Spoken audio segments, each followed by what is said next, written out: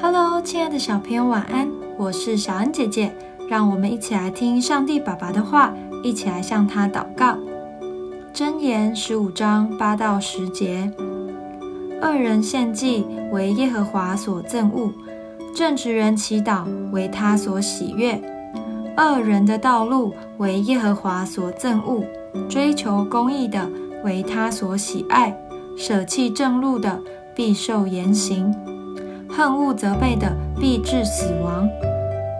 我们的外表或个性可能会跟父母很像，因为我们是他们的孩子。同样的，身为神的儿女，我们也要有跟神一样的性情。神的其中一样性情是正直，正直就是不说谎话，不耍小聪明，守规矩，并且喜爱真理。因此，我们也要像他一样正直。大部分的人都喜爱听动听夸奖的话。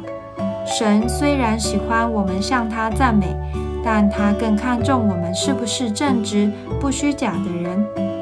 否则，如果只是在祷告中大声的赞美神，却不按着他的教导与人相处、敬拜神，他也是不会垂听祷告的。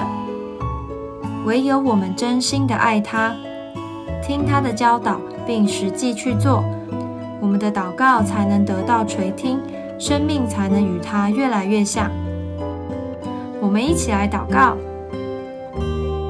亲爱的主耶稣，正直的人是你所喜爱的，正直人的祷告你必垂听。求你使我的生命越来越像你，拥有你所喜爱的正直品格。奉主耶稣基督的名祷告，